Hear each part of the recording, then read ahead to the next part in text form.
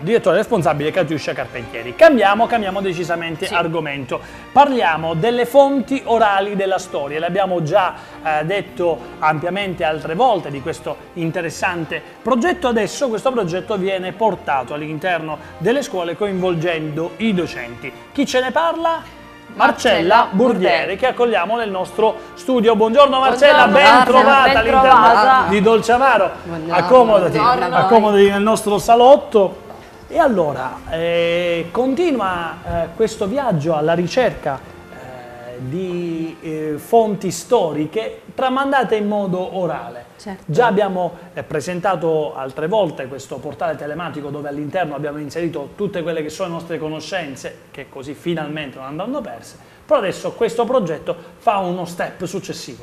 Infatti hai detto bene, continua, poiché è iniziato con un grande progetto che è appunto quello Terra Matta prodotto da Chiara Ottaviano per la regia di Quadriglio e adesso poi ha preso un, ehm, un altro slancio con l'apertura di questo portale che è un portale di interesse ormai diventato di, di tipo nazionale perché eh, sotto Napoli possiamo dire che non c'è niente di tutto questo che raccolga la nostra memoria. E quindi adesso c'è questa forte esigenza di allargare quanto più possibile queste tematiche al mondo della scuola perché poi coinvolgano i ragazzi e le famiglie. Marcella, noi ci siamo visti un anno fa, forse più di un anno fa in realtà.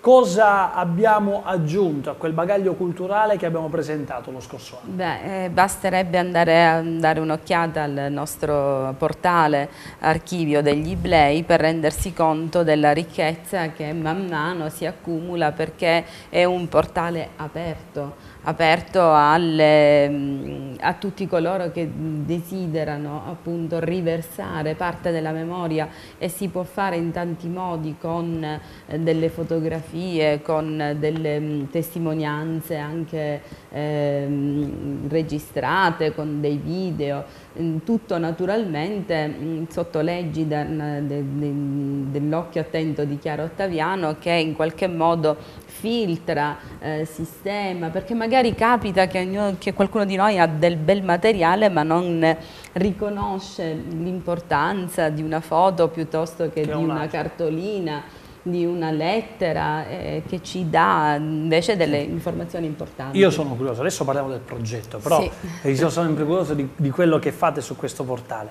ma qualche chicca, qualche cosa che non ti aspettavi, che avete scoperto, che avete trovato? Beh, intanto quello che non ci aspettavamo è il grande interesse in merito a questa, a questa cosa. E, ehm, quando eh, per esempio noi, noi ci, ci, ci, troviamo a, passeggiare con le auto nel nostro territorio e girando l'occhio a destra e a sinistra al di là dei muri a secco si vedono per esempio dei, delle costruzioni in muro che siamo abituati a chiamare cosiddette muraglie.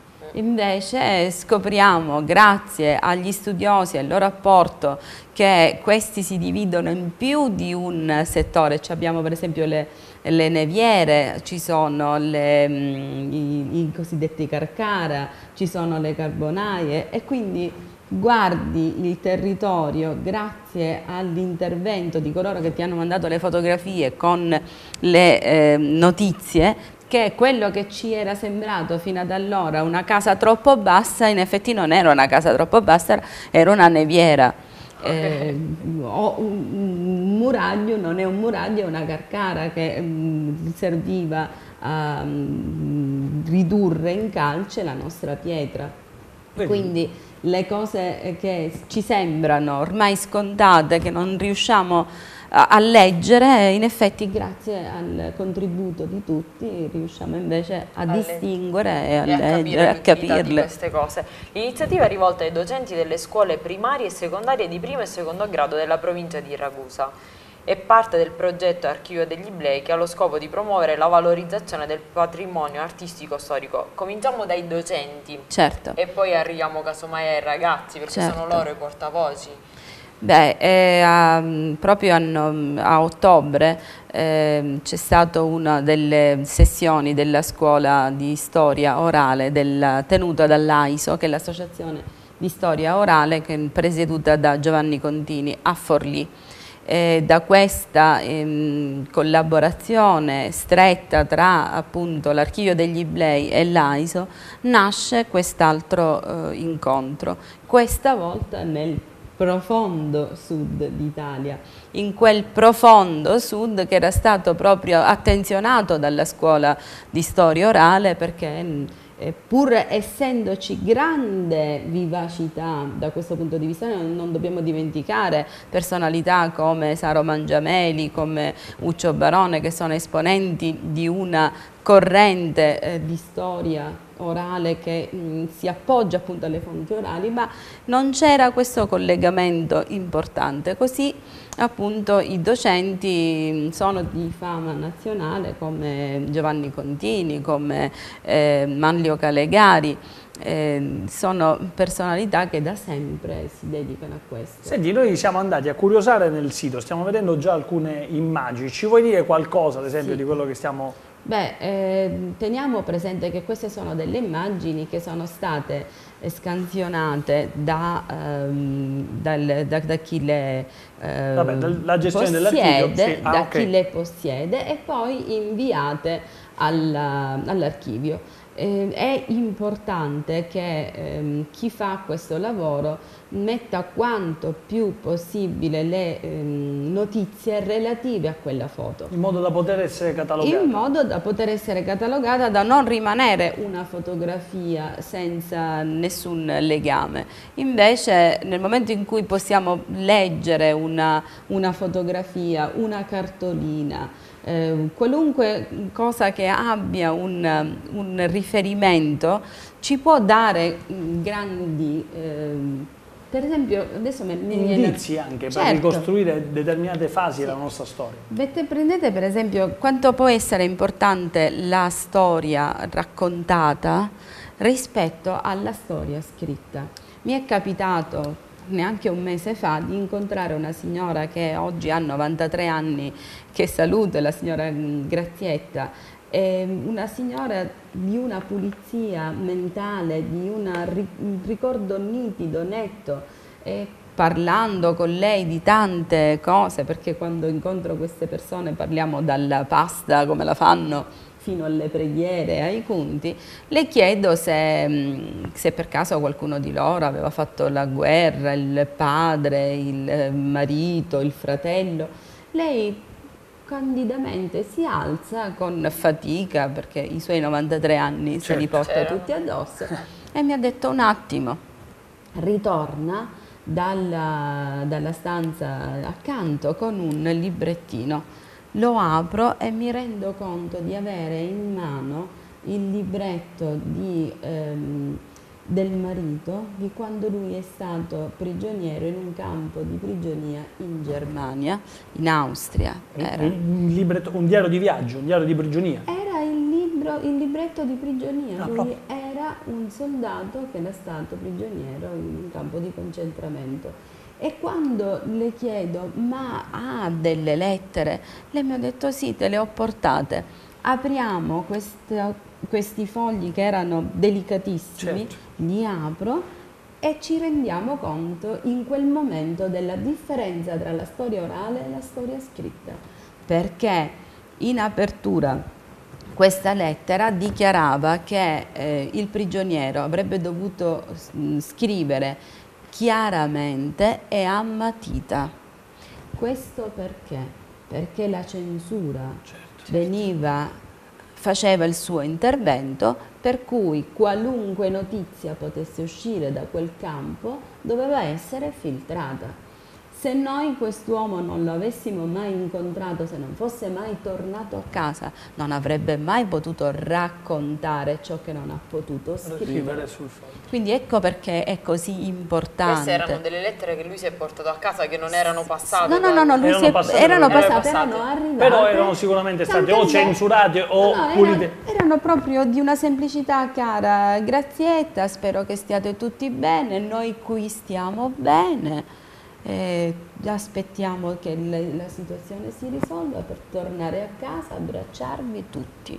Nessun riferimento alle sofferenze, nessun riferimento a ciò che stavano vedendo, a quello che avevano visto perché non lo potevano fare. Se non fosse stato il suo ritorno a casa a raccontare gli incubi di cui, che la, quella, quella signora mi raccontava degli incubi del marito, dei pianti improvvisi del marito all'inizio perché è quello che avrà visto poi lo ha raccontato certo. alla moglie e non tutto che non riusciva a verbalizzarlo ma di queste cose, di questi racconti ce n'è moltissimi e quindi l'importante sarebbe quello di andare mi chiedevi poco fa una chicca, una, proprio è di qualche giorno fa di una signora che ehm, parlando di Santa Lucia, racc raccontandomi a dicembre di Santa Lucia, una signora mi disse eh, siamo nell'altopiano, siamo in zona Chiaramonte, mi disse, dice, eh, Santa Lucia la Sarausana, ave le piede come una iardina,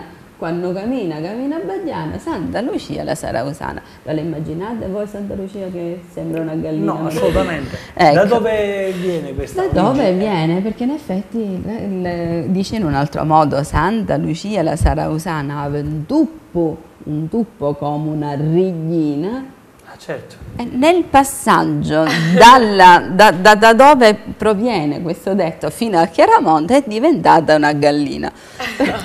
Così via, ma tornando al nostro, al nostro, corso. Sì, infatti, come questo poi lo portiamo nelle scuole? Certo, lo portiamo nelle scuole perché eh, si cercherà di far capire ai ragazzi tramite innanzitutto gli insegnanti e poi ai ragazzi che ogni testimonianza eh, raccolta, presa e, e conservata può essere è di enorme importanza per chi domani resterà e resterà a raccontare il nostro territorio, non, non solo storpiato come a Santa Lucia, ma anche documentato. Documentato, quindi sono cinque incontri, tre a marzo e due ad aprile. Come si fa a partecipare al corso? Bene, eh, ci sono dei moduli eh, di iscrizione, ci sono dei depli che oggi trovate per lo più nelle scuole e soprattutto telefonando a, o scrivendo, facendo una mail al Feliciano Rossitto.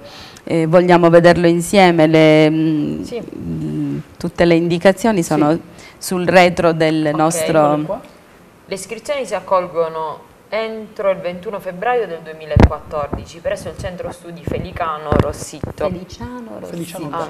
di Ragusa. 0932 24 65 83 info chiocciola centro studi feliciano rossitto.it all'attenzione della signora Ornella Cappello per informazioni il professore Salvo Licitra 335 6476 838. Il corso è gratuito per i soci AMC UCI, IM, ASPEI. Al termine del ciclo di lezioni sarà consegnato ai partecipanti che lo richiedono l'attestato di partecipazione rilasciato dall'ASPEI, UCIM, eh, riconosciuti dal Ministero della Pubblica Istruzione come soggetti qualificati per la formazione dei docenti ai sensi del decreto eh, ministeriale 1211 del 5 luglio del 2005, direzione Chiara Ottaviano. Benissimo, benissimo. E allora noi invece ci fermiamo qui, facciamo un bocca al lupo ovviamente Grazie. per questo progetto. Chissà è vero che, che è rivolto a tutti, questi sono alcuni soci, ma tutti, tutti indistintamente possono partecipare. Ovviamente. Trovate tutto, tra l'altro... Costa 20 euro okay. l'intero corso, quindi non costa veramente nulla. Era... Abbiamo un sito di riferimento. Eh, Chiara.ottaviano chiocciola cliomediaofficina.it questo, questo è l'email. invece il sito dove abbiamo preso queste foto lo ricordate perché io non ho l'indirizzo. È l'archivio degli eBay archivio degli eBay esatto dove è possibile trovare tutto quello che stiate guardando durante la nostra intervista. Noi ci fermiamo qui come vuole la tradizione ora Bello. ce ne andiamo bellissimo ce ne andiamo a cucinare e poi torniamo perché tra pochissimo si gioca. A dopo